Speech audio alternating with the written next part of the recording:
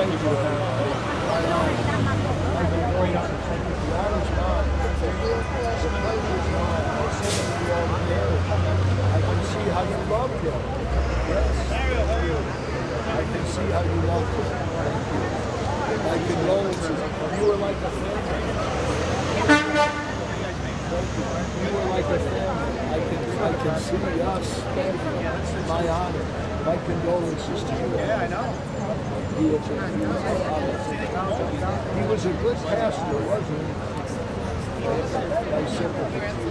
He was a father to the family. My sympathy. Thank you. My, my condolences. Tell me. No. Tell you were a family. My condolences. uh, You were a family. You loved him so much. No. I can tell. But I am told it's a